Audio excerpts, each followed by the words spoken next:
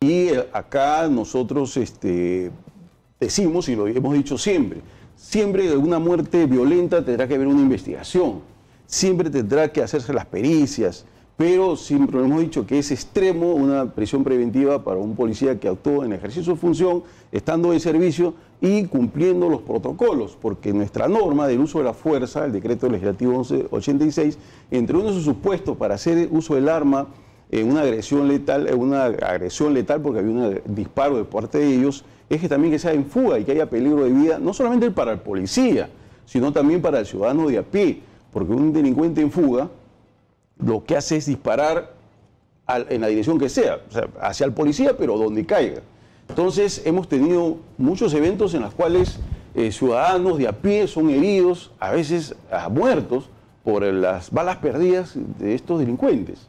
Entonces, eso también está comprendido para el uso de la fuerza letal. El policía también está habilitado a hacer el uso del arma cuando hay un en fuga, el delincuente en fuga eh, y disparando, usando uso de armas. Entonces, eh, encuadra ahí dentro del, marco legal. Por eso que nosotros insistimos y, toda la defensa legal también de que esta medida de prisión preventiva este, es excesiva.